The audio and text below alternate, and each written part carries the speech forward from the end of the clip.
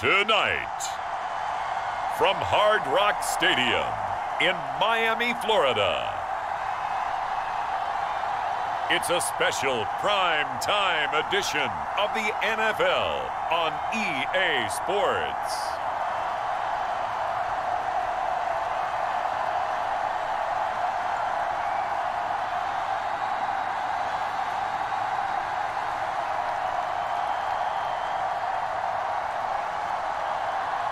We'll see Tua Tagovailoa and the Miami Dolphins taking on Kenny Pickett and the Pittsburgh Steelers.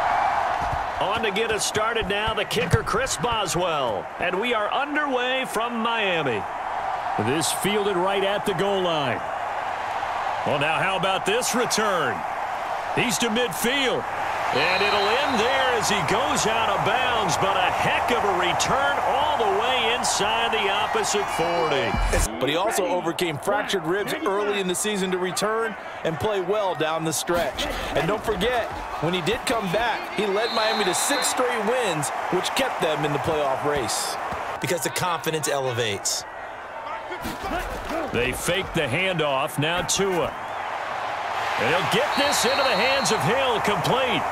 And finally, down he goes as they work it inside the 10 to the 7.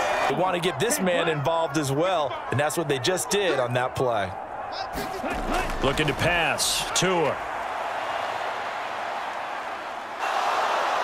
Escaping the pressure right. And he will take it in for a Dolphins touchdown. Tua Tagovailoa taking it in from seven yards away. Is a person lugging the ball happy? Of course, because he got it into the end zone. How about the offensive linemen and receivers who are blocking for him? They have to feel great about themselves. Sticking it. Now after the touchdown, ready to kick it away is Sanders. This taken in at the goal line. And a nice return sets him up pretty good here right at the 30-yard line. Thinking quarterback, everyone knew it. The question was, out of all the possible names, who would they select? In the end, they took the hometown kid from Pitt, Kenny Pickett, who heads next door to lead the Steelers. Def Got six, now second and four.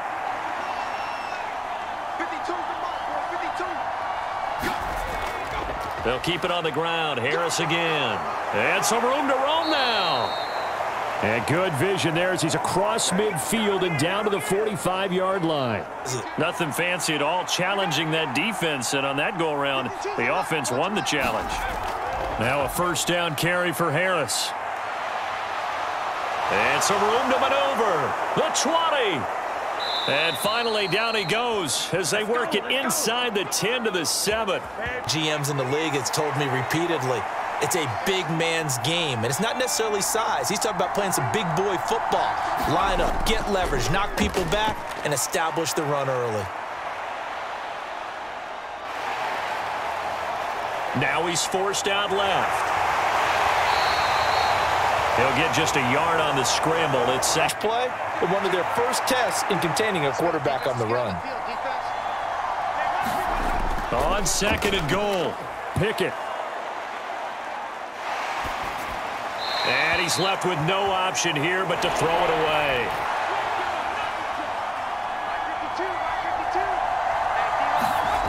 Looking to throw, Pickett. He's got Claypool for a Steeler touchdown. It's a six-yard touchdown pass. X him down, throws the touchdown pass. And in a game like this, with, as you described, a rookie quarterback, the team usually says, okay, we got to take care of this guy. We got to protect him. But when he goes out... Each team's had it. Each team has scored. 7-7 here as the kick's away. Taken in at the three. And he takes this near the 25. Just a little pass there. Call it the 26. The game plan, I doubt it'll just be a carbon copy of the last drive because I think this offense is ready to break out some new wrinkles and try some new things that might be hidden in their playbook. They want to use that confidence to its advantage while also keeping the defense from anticipating what's up next. After the incomplete pass, here now is second and 10. A first carry for the Fordham Ram, Chase Edmonds. They find some open field here. And they get him down, but not before he takes it across the 40-yard line. Yellow, 43.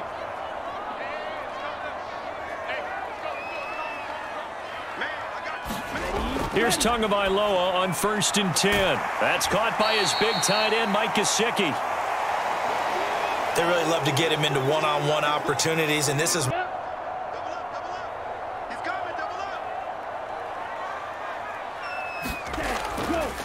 First carry for Raheem Mostert. And they'll get him down as he's inside the 40. 45, White.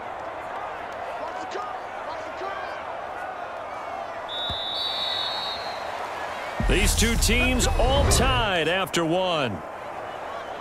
So from the 39 now, they'll come up on a first and 10.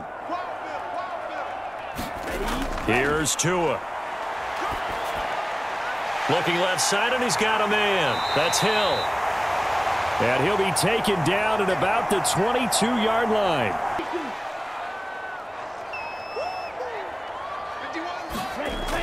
On first and 10, it's Mostert.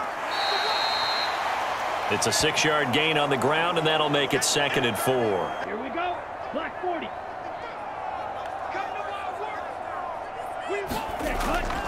Second down. Here's Mostert again. And he's going to be met at the line of scrimmage and taken down. Holding them to no gain. From the gun, it's Tua. That ball nearly intercepted, but he could not hang on. Fourth down, Tua departs, and on is Jason Sanders and the Dolphin field goal unit. From the right hash, this from 33. Sanders' kick is good. After the field goal, here comes Sanders to kick it away. This will be fielded inside the five. And up to about the 26-yard line. Just defense maybe looking out for a pass coming up. But it appears that they read man defense and went to the out route. And what you have to do on that one is the receiver's got to make sure he works the defender towards the middle of the field to give himself space to cut to the outside and have that ball delivered with good timing.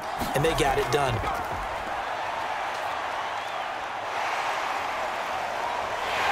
And he's going to have to eat this one as down he goes. The Steelers in need of a big play here. Third and long after the sack. To throw here. He gets it complete to Harris. And he gets this one just shy of the 40. They'll mark him down at the 39. A big play there as they get the conversion on third and 13. In space, let him use his leg. Yeah, if, if he can get a matchup against a linebacker or maybe a defensive end dropping out in a zone blitz, he's going to win that battle just about every time.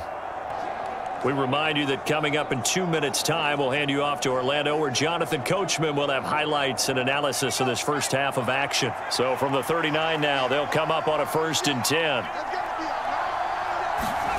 On first and 10, it's Pickett. Pass complete, George. Led the Bulldogs in touchdowns both seasons. Had people thinking he could be a first-round pick. The ceiling is huge with this kid. Nice pickup there for a first down. And he's going to lose a yard or two, taken down behind the line. Difficult for them because just think about every single play. When you decide to throw the football, you're dealing with some of the best athletes on the planet. You talk about guys, if they weren't playing football, they'd be starring in the NBA at power forward. It's a really difficult task. Play number seven coming on this drive. It's third and inches. Pickett a throw left side, caught by the tight end, Freiermuth. And he's out of bounds. Almost gets to the 10. And then some. From down at the 12, it's first and 10. First and 10, here's Pickett. And he can't find anywhere to go with it, and he goes down. A small bit of adversity here on what's been a strong drive as they come up second and 12. Another try after the first down sack. Pickett over the middle into traffic, and that's complete. The Dolphins bring on an extra defensive back on third down. Here's Pickett. Toward the pylon, caught. Steelers touchdown. Correct me if I'm wrong, but his top two options were not available on that throw, so he went the safe route. Worked out pretty well. It was like you were in the pocket. How about you going through the progressions like... so not much time to speak of remaining in this first half as the kick's away. Fields it right around the goal line. And it's a pretty good return here as he'll get this up to the 29. Timing is so important on a route like this because 50, green. Throwing again on second down. Tua. Another catch there for Waddle. And they'll get it up just short of the 45 at the 44. And unless this is a quick incompletion, this is likely the last play here of this first half. Here's Tagovailoa to throw. He's going to float this over the middle, deep. And this is caught. So we've reached halftime here with the visiting Steelers out in front as we send you up to Orlando to check in with Jonathan Coachman and our EA Sports Halftime Report. All right, BG, thanks very much. And welcome one and all to our beautiful new downtown Orlando studios for this e half as the Steelers have the lead and they will also be receiving the football here to start the third quarter. Taken at the goal line. And a good effort on the return there. Gets him across the 30, up to the 33. The Steeler offense now with a football first here to begin the third quarter. And they've got the lead. CD, what do you think the message was at halftime? I don't think the message was too drastic, I think, at the half, or that they need to change things too much. I do think the offensive line could play a little bit better, and I think they'll try and help them out more. They'll probably keep a tight end in a few more times and maybe add a running back to the formation to pick up those pass rushers because they probably allowed a few too many sacks for comfort in the first half. To the air on first down with Pickett. Open man, that's the tight end Freiermuth. And he'll be tackled right on the chalk of the 45. Right off the bat, it's a first down to start the drive, 12 yards. For a tight end, he's got good straight line speed, and on that route, he's often the guy that gets overlooked. Nice job there finding him in stride for really good yardage.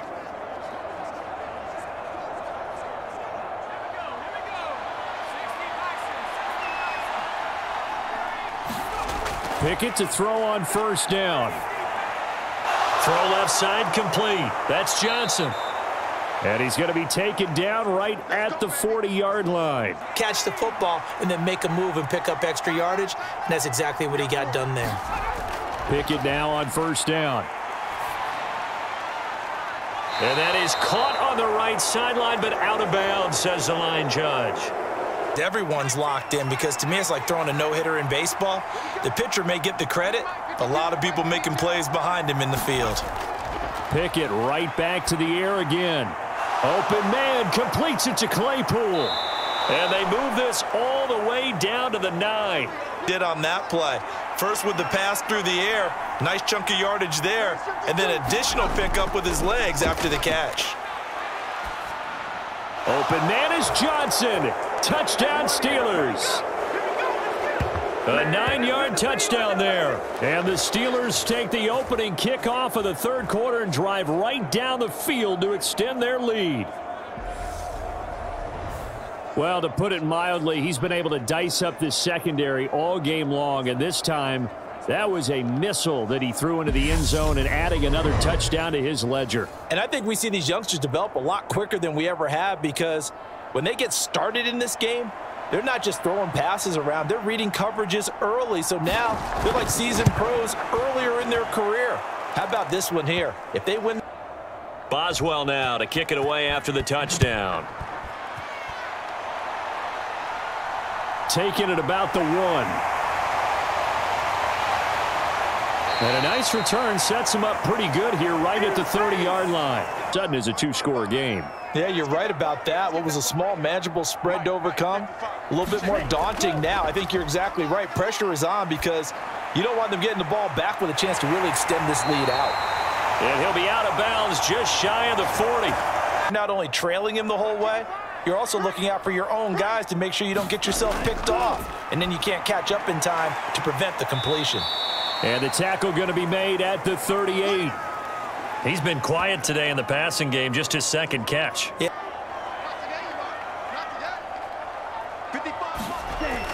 On second down, this is Edmonds. Someone, while they're holding up the ball carrier, can get in there and rake it and lock it free. They need to get some takeaways as well. Got a man. It's Waddle complete. And they're going to have themselves another first down as Throw there, and they're really putting together a good drive. Up the middle they go with Mostert. And good downhill running. He's got six yards down to the 13. Second and four. Red, 38. Ready, ready. Tua going to throw. Got his man complete over the middle. That's long.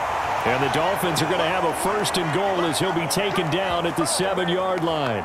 A first down. First and goal, and they got to be thinking a chance to get right back into this football game. Set, go. Ready, ready. On the Jets sweep, here comes Waddle. And this play doesn't go anywhere. Front of you. But if not, Well, things can go south in a hurry, and that's exactly what we saw on that play with a loss. And he'll take this one inside the 10, down to the 8. Ready. 60 red. 60 red. One quarter remains here on a Sunday night. We'll return with more after this break. You're watching the NFL on EA Sports.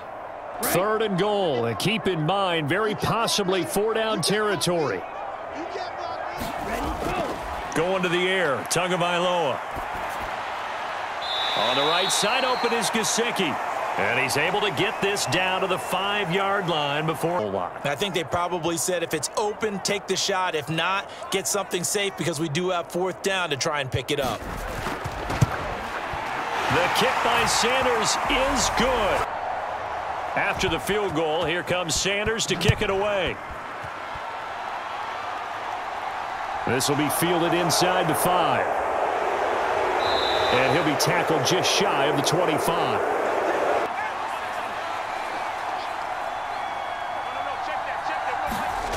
Pickett back to throw. That's complete to his tight end, Freiermuth. And he'll be corralled right around the 34. Lead things out at this point, right? Continue to possess the football, gain some yardage, and put the onus on the defense. Do they have to use timeouts? What are they going to do to stop you? You're taking charge.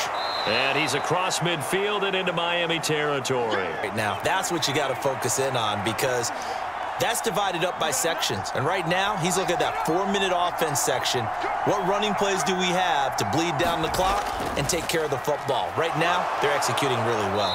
And the stop here will come at the 38-yard line. Down, and they're really starting to take over in this game.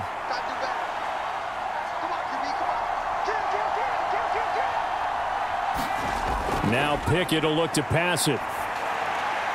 Throwing middle, and it's complete. And he'll be marked down right at the 20-yard line. Come on, guys. Let's go. This is something you got to be wary of defensively. I mean, just because they're in the mode of trying to burn some clock doesn't mean they won't pass it, and they got good yardage out of that one. Yeah, and really, when you're looking at it, now they've got a fresh set of downs. Look for second down if they want to take another shot and try and loosen. Fourth quarter, down to the final two minutes, and we've got a one-score game.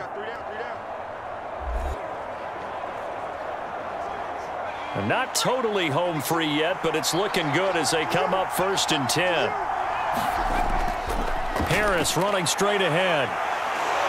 And brought down, but not before first and goal and a late touchdown at this stage. Could officially salt this one away. They run again with Harris. And the hole closes quickly here. He can fight only to about the four. The Dolphins going to take their second timeout. That'll leave them with just one remaining in this fourth quarter of play. Second and goal from inside the five.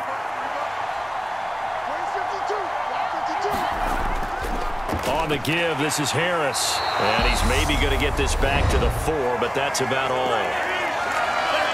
Now the defense will burn their third and final timeout. They have to love seeing that from their young quarterback here in the fourth quarter, able to further that lead with a touchdown pass. He didn't go turtle, did he? And you know what I mean by that. I had an old coach used to say all the time, hey, when we have a lead late, don't just tuck in and try and ride it out. Go out and play and extend the lead. And that's what he did. Point now by Boswell.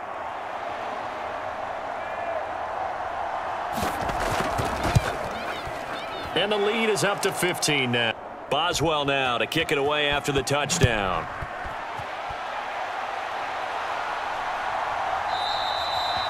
And he'll decide to not bring this one out as their drive will begin at the 25. Come on, set.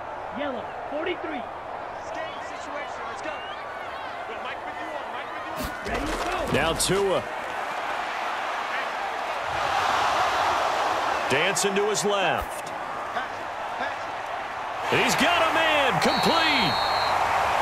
he's taken. Able to keep your eyes downfield, keep the play alive, and not automatically run with the football. How about that lesson absorbed, and it turned into a big play. And he'll be brought down inside the 40-yard line. Run extra plays, harder to move it. Here's Tua. Tyreek Hill's got another one. And he'll be taken down here just shy of the 30.